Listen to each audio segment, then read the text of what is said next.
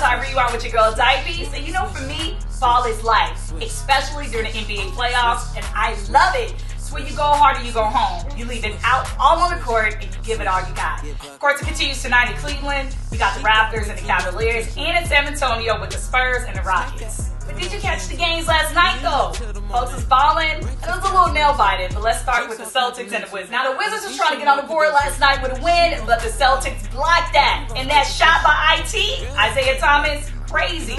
They switch. Thomas crosses.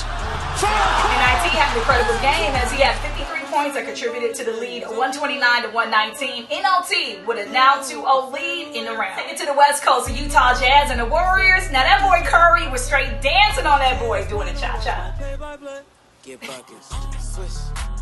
But the Warriors came with it with a win 106 to 94 against the Utah Jazz.